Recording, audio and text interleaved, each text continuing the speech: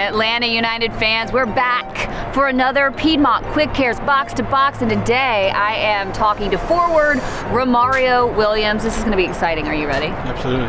Yeah? Let's do it. Let's do it. Let's do it. Let's get going. One word to describe our fans.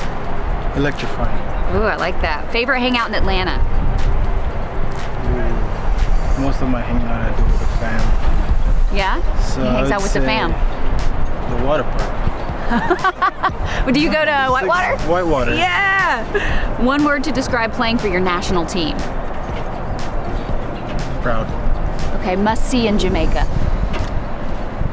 Blue Mountains. Strawberry Hill. I love Jamaica. Favorite Jamaican dish?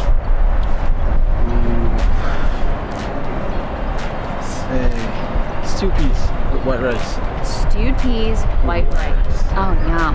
Can you teach me a Jamaican phrase? Wagwan. It means what's up. Wagwan. Wagwan. A word to describe your first MLS goal. Crazy. Yeah. All right, so tell me um, your favorite opponent you've played. The Red Bulls. Oh, yeah. All right, Five Stripes or King Peach Kit? King Peach. Favorite college team? UCF Knights. All right, favorite part of being a dad?